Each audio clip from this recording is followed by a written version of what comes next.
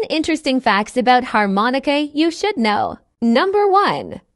The harmonica was invented in Europe in the early 19th century. It was based on an earlier instrument called the sheng, which was invented in China around 3,000 years ago. Number 2. The harmonica is often associated with blues music, but it has been used in a variety of other genres as well. It has been used in classical music, jazz, country, and even in pop and rock music. Number 3.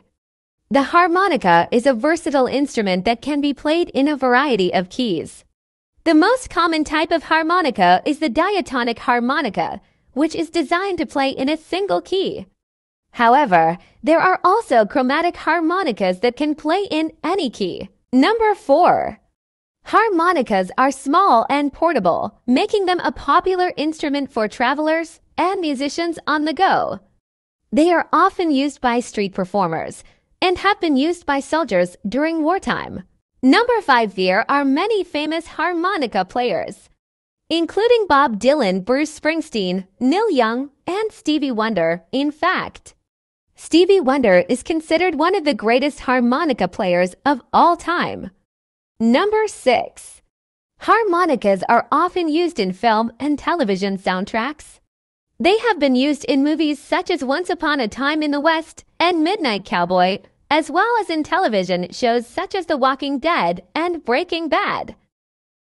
Number 7. Harmonicas come in a variety of sizes and shapes.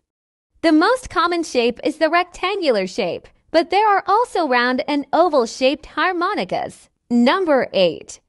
Harmonicas are often used in conjunction with other instruments, such as the guitar or the piano. They can add a unique sound to a musical performance and are often used in solos or as accompaniment. Number 9. Harmonicas can be played in a variety of ways, including tongue blocking, puckering, and overblowing. Each technique produces a different sound, and players often use a combination of techniques to create their own unique sound. Number 10. The harmonica is a relatively inexpensive instrument, making it accessible to people of all ages and backgrounds. It is a great instrument for beginners to learn and can be used to play a wide range of musical styles. Thank you for watching. Please subscribe to Fact Check 101.